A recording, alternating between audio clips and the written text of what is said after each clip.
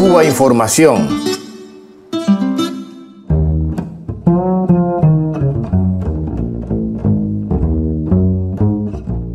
Por fin ha sido llevado a la opinión pública norteamericana el caso de los cinco cubanos condenados injustamente a largas penas en Estados Unidos.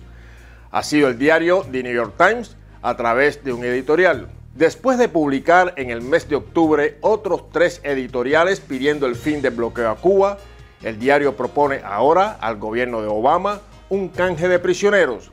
El agente norteamericano preso en Cuba, Alan Gross, por Gerardo Hernández, Ramón Labañino y Antonio Guerrero.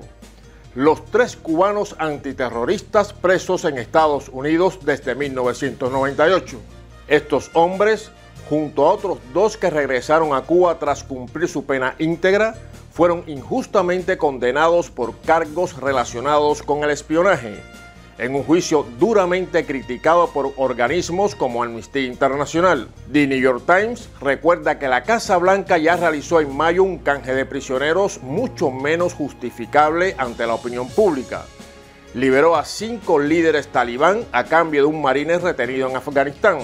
El canje entre Cuba y Estados Unidos, añade, sería justificable si se tiene en consideración el largo periodo que han estado presos los tres cubanos, las críticas a su proceso judicial y los posibles beneficios que el acuerdo podría representar para lograr un acercamiento bilateral entre ambos países.